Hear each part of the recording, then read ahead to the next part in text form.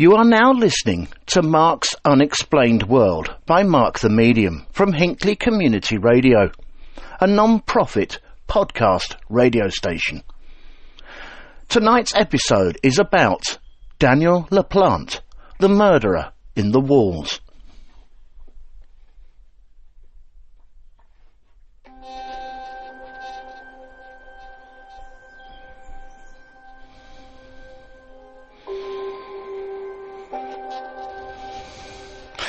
Daniel J. LaPlante is an American convicted murderer who is currently serving multiple life sentences for the 1987 murders of Priscilla Gustafson and her two young children named Abigail and William Gustafson in Townsend, Massachusetts.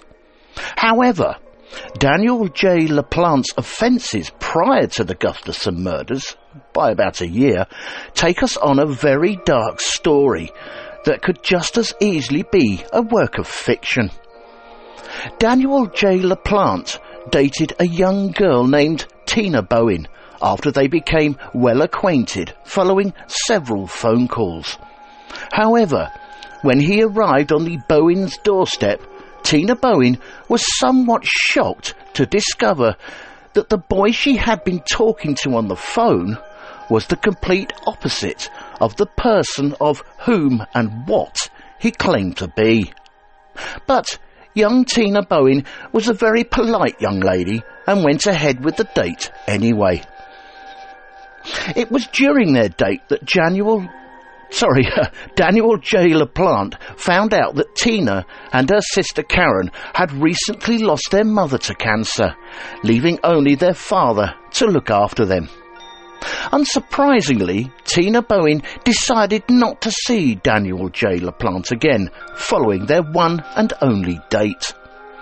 So, it was a short while after this that one evening, Tina and her sister Karen decided to attempt to contact their deceased mother by using a Ouija board and performing a seance in the basement. At first, nothing happened, but over time, Karen and Tina Bowen started to receive a rhythmic knocking noise against their bedroom walls as they tried to sleep. So, was it the spirit of their of the girl's mother? Or was it something far more sinister? Greetings, unexplainers. Thank you for tuning in again and listening to this episode of a very strange tale from Mark's Unexplained World. My name is Mark Hughes. I'm a psychic medium, a ufologist, and a true crime buff. In this episode, I'm going to tell you about the strange story surrounding Daniel LaPlante, otherwise known as the murderer in the walls. And this week's necessary disclaimer. This story is a tale that sadly involves sexual assault and the murder of young children, so may prove upsetting to some. You listen at your own discretion with all opinions and comments being strictly my own, but the facts of the case still remaining. I also apologise, again, if I pronounce anything incorrectly. My English, although it is my first and only language, ten- tends to speak out only to annoy everyone else. But back we go to the story. First of all, who exactly is Daniel LaPlante? Well, Daniel LaPlante was born on the 15th of May back in 1970 in Townsend, Massachusetts. It has been reported that he suffered a very traumatic childhood. However, very little is actually known regarding the specific details of his upbringing. Daniel LaPlante had his first run-in with the law when he was only a minor, which meant that details of the incidents were kept anonymous. He had suffered with much sexual and psychological abuse at the hands of many adults in his life. These adults included Daniel LaPlante's father, who administered the majority of his son's punishments by allegedly tormenting him physically emotionally, and sexually on a regular basis. And also, unbelievably, the man who was supposed to be helping him with his mental health, his psychiatrist. He started to make sexual advances towards Daniel LaPlante, and then, the following year, started to sexually abuse him during their sessions.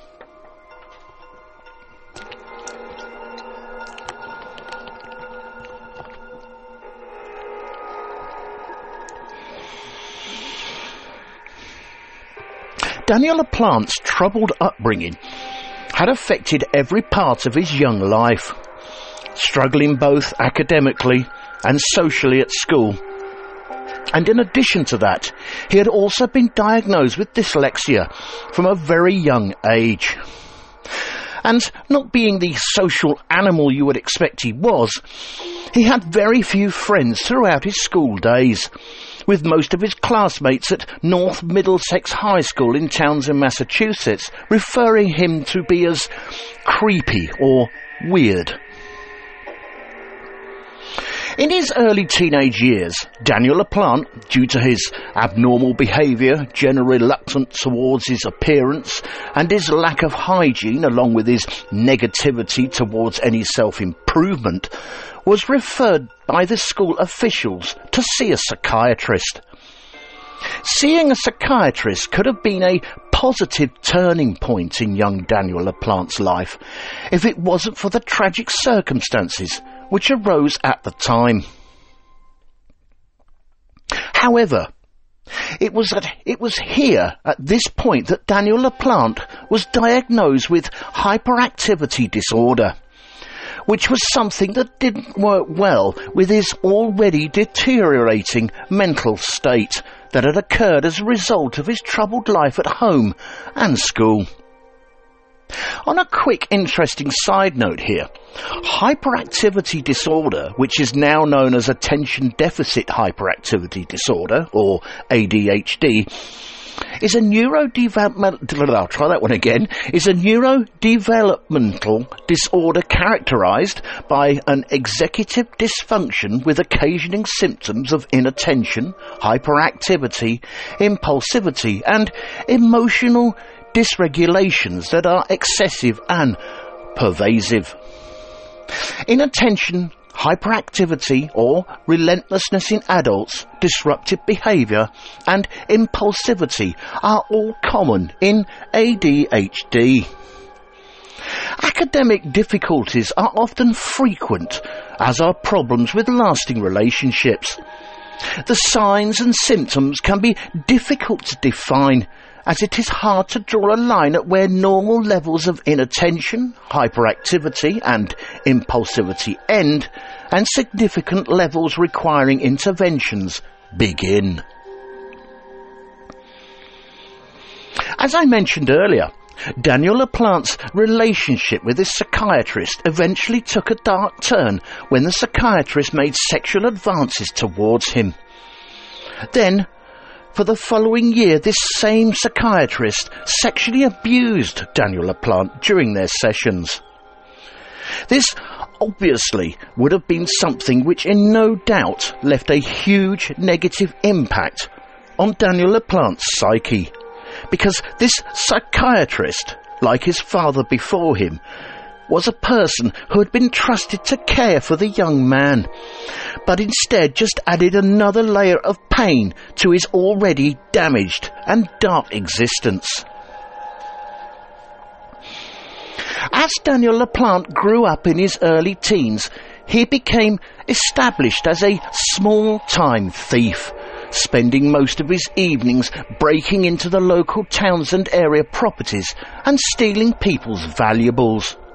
However, it wasn't just stealing people's valuable items that gave him some form of gratification, as the more he burgled, the better his skills improved. And not only that, but so did his gift for tormenting the minds of the victims whose houses he raided. By the age of 15, he wasn't only breaking into people's homes and taking their possessions, he also began leaving behind various other items for his victims to find the next day. And just to really mess with the victims' minds, he would also move objects and items around in people's homes, but in such a way that it was clear someone had entered the property, but not so much as so that it was immediately obvious. Eventually, he was invading people's homes purely just so he could mess with his victims' minds.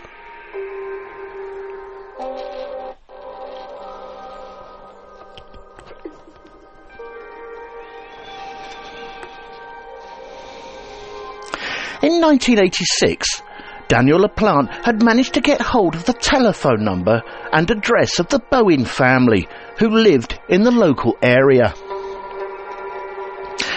I think it's reasonably safe to presume that he probably burgled the Bowen family home at some point, and somehow he had managed to retrieve the telephone number, although I must point out here that this is just a hunch, and I can't find anything to confirm this theory. The Bowen family consisted of the father, Frank Bowen, and his two daughters, Tina Bowen, aged 15, and Karen Bowen, aged 9. Over a period of time, the two daughters, Tina and Karen, began to converse with Daniel LaPlante over the phone. The disturbed young man told the two sisters that he had been given their phone number by a friend who went to the same school as them. He also told them that he was good looking, athletic, blonde, and a well educated boy who lived local to them. However, and still over the phone, 15 year old Tina Bowen started to become quite smitten with the young Danny LaPlante, so much so that they arranged to go out on a date one evening. When Daniel LaPlante arrived at the Bowens' home, eagerly awaiting for his date with the young Tina, she was somewhat, um, how do you say it? Shocked? Gobsmacked? Stunned?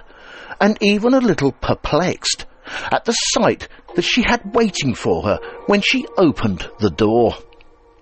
Mainly because the athletic looking jock type stud that she was expecting to arrive turned out to be nothing more than a dishevelled, greasy, spotty, dark haired boy who had the sex appeal of a road accident. And to discover that this boy had more than slightly oversold himself was something she would probably have won an award for as she tried to cover up her disappointment with some sterling acting. However, if Tina Bowen was anything, she was a polite young lady, so much so that she let young Daniel LaPlante take her to the local fair. They chatted for about an hour and then Tina made her excuses and returned home. Blind dates, eh? It was during this date that Daniel LaPlante discovered that Tina and Karen Bowen had recently lost their mother to cancer, leaving only their father, Frank Bowen, to care for them. Daniel LaPlante allegedly took great interest in that fact, especially regarding the details of Tina, Tina's mother's death. On a later interview with Tina Bowen, she claimed that she felt as though Daniel LaPlante was obsessed with the details of the death of her mother and that throughout their date he continuously questioned her on the on how she felt the moment she died and how much mother had suffered. As you can probably imagine, Tina Bowen and Daniel LaPlante didn't go on any more dates.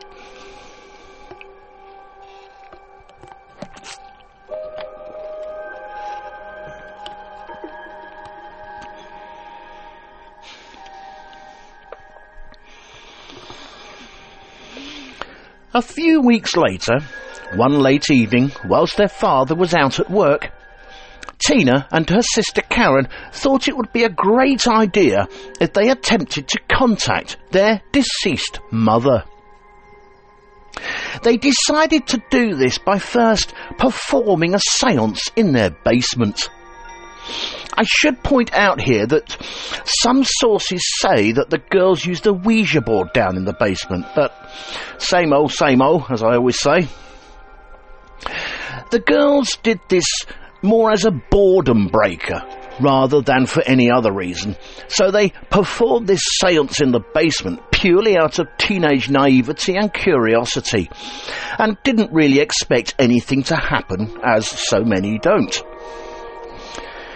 Later on that same evening, however, as the girls were trying to fall asleep, both Karen and Tina received a rhythmic knocking against their bedroom walls.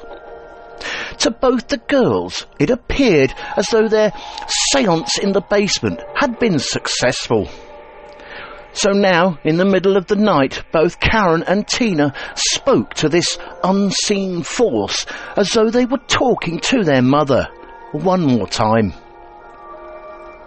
They communicated by asking the spirit questions, to which it replied with knocking against their bedroom wall.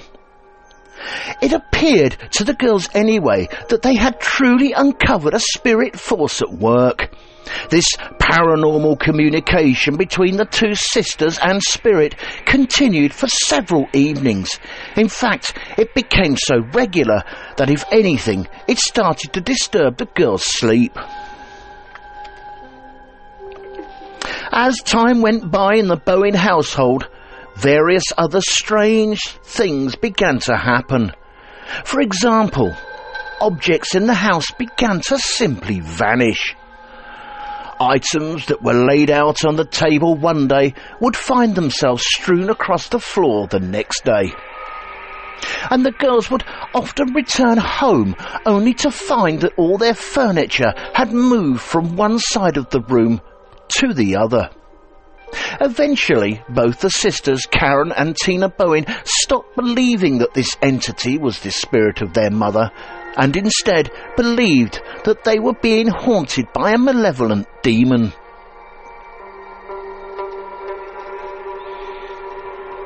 After some time and after many of these unexplained happenings around the home, the girls decided to speak to their father, Frank Bowen, and explain to him that due to their seance sessions in the basement, they believed that they had unwittingly invited and allowed a vengeful spirit to enter their home.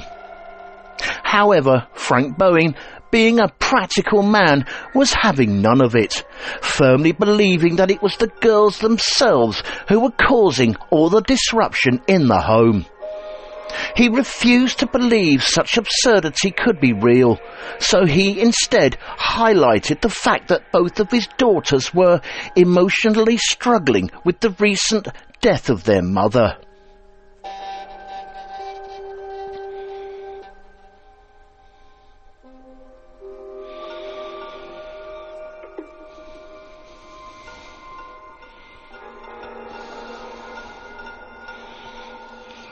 One evening in the January of 1987, while the two sisters, Karen and Tina Bowen, were alone in their front room, the strange knocking started up again. However, at this point, the constant tapping, banging, and rapping on the walls had all become so commonplace to them that it was starting to drive the girls insane. Although on this particular evening, it appeared that all the noises were not only coming from the walls, but they were coming up from the basement as well. So, the two girls, feeling much braver than brave, grabbing the nearest kitchen knife, slowly made their way towards the basement and the source of the noise. As they gently crept down the steps to the darkened basement, they turned on the light, only to be greeted by a frightening sight. There, in front of them, written in blood red on the basement wall, was the message I'm in your room. Come and find me. Not surprisingly, and without any hesitation, the two sisters rushed out of the house, faster than a greased pig in a bacon factory and went straight to the safety of one of their neighbour, neighbours next door. There, shaking with fear and terror, the girls waited for their father to return home from work and told him of what they had discovered in the basement. But once again, Frank Bowen was having none of it, believing that it was actually his two daughters who were responsible for the defacement of his basement wall. So, he then ordered both girls, Tina and Karen Bowen, to undergo grief counselling to help them both with what he believed to be the source of their struggling mental health, the grief of losing their mother.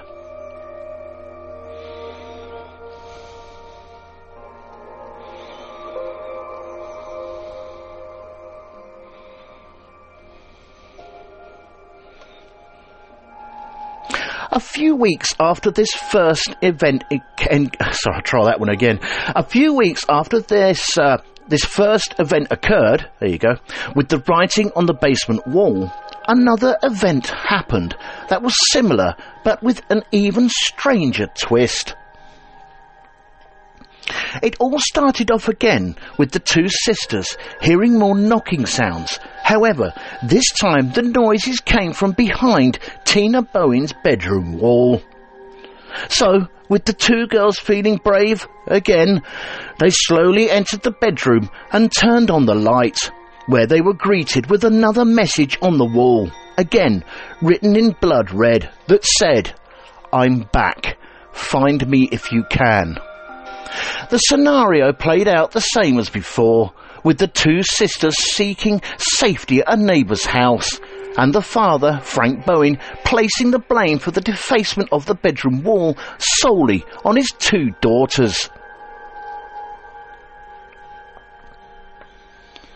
The two girls had this time called, called their father by telephone from a neighbour's house and pleaded for him to come home from work.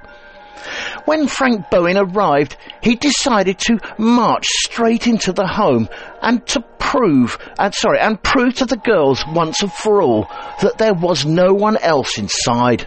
However, when Frank Bowen entered the home, he noticed that there, that there had been further disarray than what his neighbour and his daughters had previously told him. It then became obvious to the girl's father that someone had been inside their house when the girls and their neighbour were all assembled outside.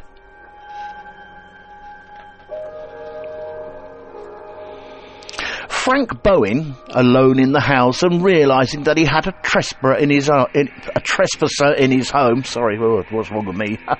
entered Tina's bedroom, where he saw an additional message in red that had been painted on the wall saying, Marry me. Then, when he looked at the other side of Tina's bedroom, Frank Bowen was greeted with an even more bizarre sight. Because there on the other side of the room stood a young boy. Now that alone would be frightening enough, but this young boy was dressed in the clothes of Frank Bowen's deceased wife. It was reported that this intruder was wearing his wife's makeup, her dress, and a blonde wig. But the most concerning thing, as if there could be any more, was that in the hands of this young boy was a small axe. The young boy was none other than, yeah, you guessed it, Daniel LaPlante.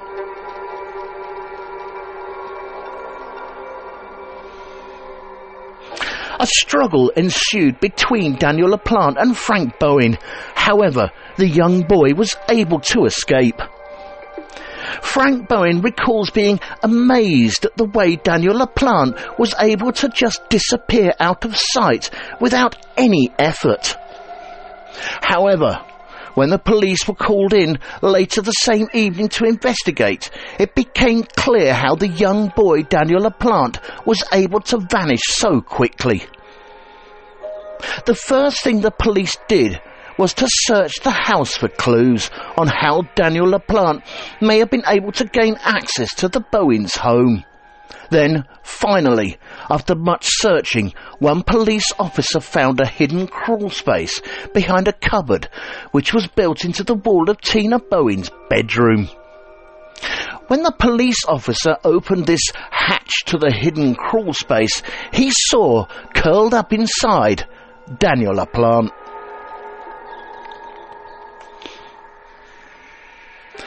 The police officers then removed Danny LaPlante from the crawl space and placed him under arrest.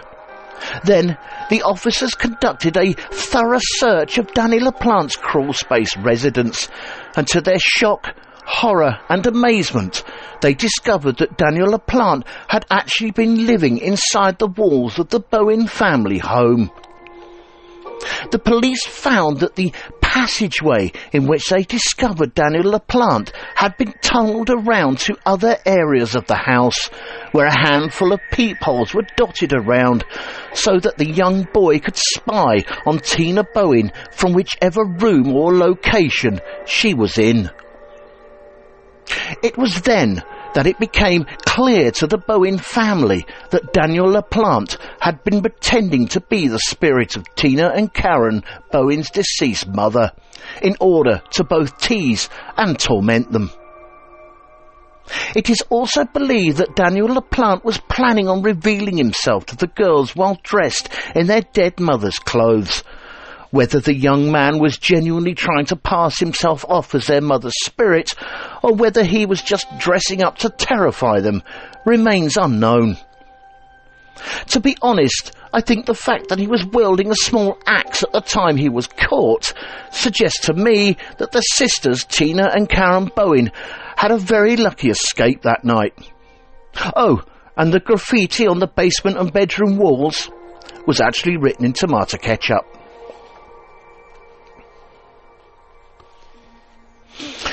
Let's take a slight detour from the story just for a second with an interesting side note. The term for someone who is living secretly in your home is called phrogging. The word is thought to have originated from the metaphorical idea of people or frogs leaping from home to home. The typical phrogger is someone with nowhere else to live.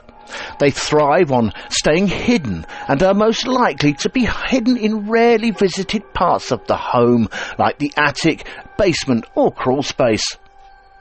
One of the most high profile cases of this type was when singer George Michael found a stalker who had been living under his floorboards for four days back in 2012. And in another example from 2008, a Japanese man discovered a homeless woman who had been living on the top shelf of his wardrobe after footage from a security sorry, try that again from a security camera revealed she had been eating food from his fridge. So go check your cupboards, wardrobes, basements, and lofts, people.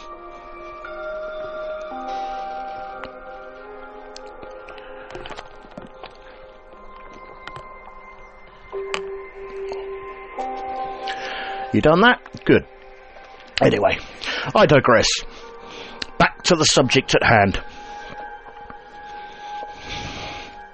The following year, the young Danny LaPlante was placed into a juvenile facility where he remained until the October of 1987. However, as soon as he was released, he went straight back into the only life that he knew best burglary. And it was during one of his burglaries in the November of that same year, 1987, that he managed to get his hands on two handguns from a neighbour's house. On the 1st of December 1987, Danny LaPlante then broke into the family home of a nursery school teacher, Priscilla Gustafson. The Gustafsons lived around half a mile from Danny LaPlante's own family residence. There, Danny LaPlante was greeted by a Priscilla Gustafson, aged 33 at the time and pregnant, and her two young children, seven-year-old Abigail and five-year-old William. Priscilla Gustafson's husband, Andrew, was at work when Daniel LaPlante broke into his home. And so, upon his return, he met, sorry, he was met with the most harrowing sight of his existence. His pregnant wife Priscilla was found face down on the, her bed with her pillows covered in her own blood. By all accounts, Daniel LaPlante had raped her and shot her multiple times at point blank range. Husband and father, Andrew Gustafson, called the police at once, who then discovered that Daniel LaPlante had also drowned both of his children, seven-year-old Abigail and five-year-old William, in two different household bathtubs with William having been drowned in the upstairs bathroom and Abigail having endured the same fate in the downstairs bathroom. It wasn't very long before the police managed to link the Gustafson family murder with Daniel LaPlante, so a manhunt was quickly ensued. Daniel LaPlante was then considered by the police to be armed and very dangerous, and given his history, there was no telling what he might do to avoid being caught. Reports had come in from a few towns over from Townsend, where he lived, that Daniel LaPlante had broken into a woman's home and kidnapped her in her own vehicle. Luckily for her, the woman managed to escape, but Daniel LaPlante was spotted by someone who had seen his photograph on the news. The police eventually found Daniel LaPlante hiding in a dumpster just 48 hours after the manhunt for him had started. And when the police inspected him, they found a hair belonging to Abigail Gustafson on one of his socks, cementing his involvement with the Gustafson family murders. A year later, Danny LaPlante was sentenced to three life sentences for the murders of the Gustafson family. Since his imprisonment, Danny LaPlante has shown little to no remorse for his actions towards the Gustafson family. While obviously suffering from a multi- multitude of personality disorders and probably other mental health issues as well, Daniel LaPlante continues to show that he is a man who cannot be repaired.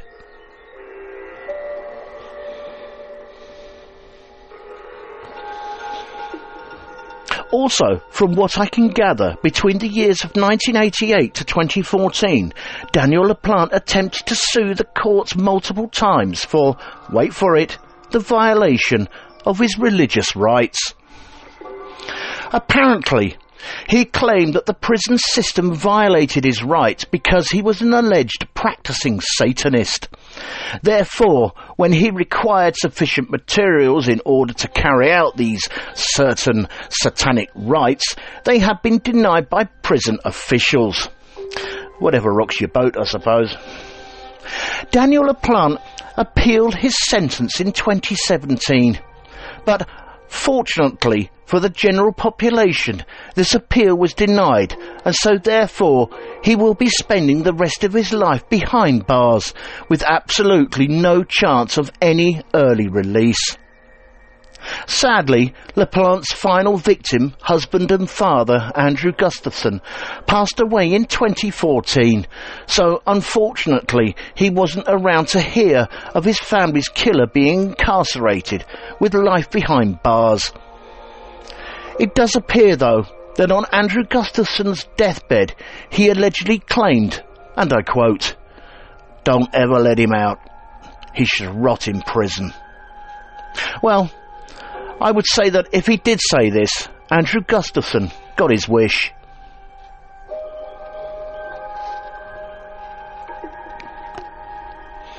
Thank you all for taking the time out to listen to this episode of Mark's Unexplained World. In our next episode, show number 90, we're going to be looking at the disappearance of the Amber Room. The Amber Room was a chamber that was decorated in amber panels, backed with gold leaf and mirrors, located in the Catherine Palace of Tsarskoye Selo, near St. Petersburg. After the war, the Amber Room was never seen in public again, although there have been reports which have occasionally surfaced stating that pieces of the Amber Room survived the war.